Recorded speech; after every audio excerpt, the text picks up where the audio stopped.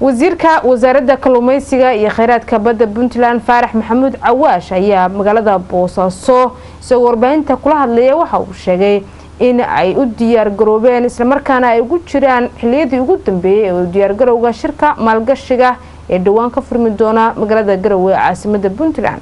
Islamarkaana wasaaraddu ay ku soo bandhigi doonto kheyraadka dhinaca badda puntland. Waryaheena cabdisaaq famos ayaa ka soo diray magaalada boosaaso warka wasiirka wasaaradda kalluumeysiga iyo kheyraadka badda dowladda puntland faarax maxamuud cawaash ayaa shi jiraacid oo uu maanta ku qabtay xarunta wasaaradda kalluumeysiga ee magaalada boosaaso waxa uu uga warbixiyey.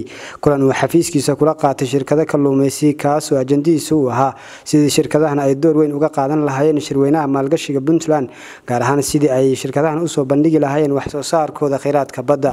Waxaan saaka xafiiska wasaaradda kalluumeysiga ee kheyraadka badda puntland ee boosaaso kulan kula qaatay laba iyo toban shirkadood oo ka mid ah shirkadaha kalluumeysiga puntland gaar ahaana boosaaso ka howlgala ajandaha ugu muhiimsan oo aan ka wada hadalnay wuxuu ahaa sidii qeybta kalluumeysiga bandhig iyo ka qeybgal baaxad weyn uga sameyn laheen madasha maalgashiga puntland oo garow ka dhacaysa shan iyo tobanka ilaa iyo toddobiyo tobanka saddex casho soconaysa labaiyo tobankaa shirkadood oo aan sida gaarka ah ula kulannay waxay ballan qaadeen inay kulli ka wada qaybgelayaan bandhig weynna samaynayaan noocyada kala duwan ee kalluunka oo ilaa iyo konton iyo afar nooc inay meesha keeni doonaan.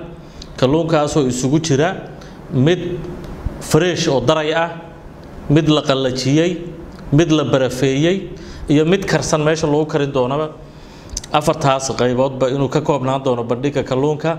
Waxyaalaha kaleoo kheyraadka badda ah waxyaabaha bacoolaha ah noocyadooda kala duwan iyo kulli in meeshii madashii ay shirkaduhu ku soo bandhigi doonaan oo ayna la kulmi doonaan shirkadaha u imaanaya oo danaynaya inay maalgashadaan kalluumeysiga ay la hadli doonaan oo ay matali doonaan.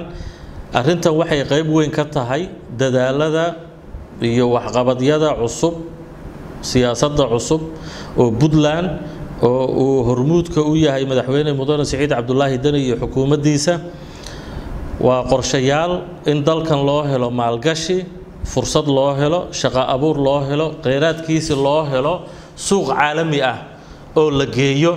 Muhiimaddu waa kaas.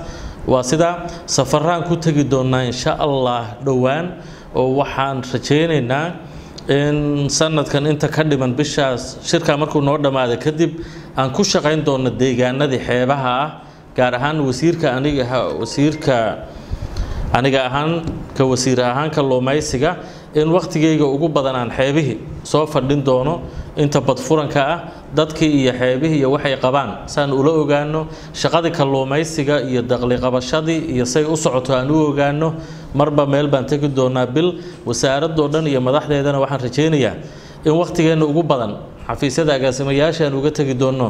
Aan xeybihii soo fadhin doono insha allah si dadkeena aan u dhex fadhinno. Wasiirka oo hadalkiisa sii wata ayaa sidoo kale shirkiisa jaraa'id waxa uu ku soo hadal qaaday. Gudi dhowaan loo xilsaaray wax ka qabashada saameyntii ka dhalatay.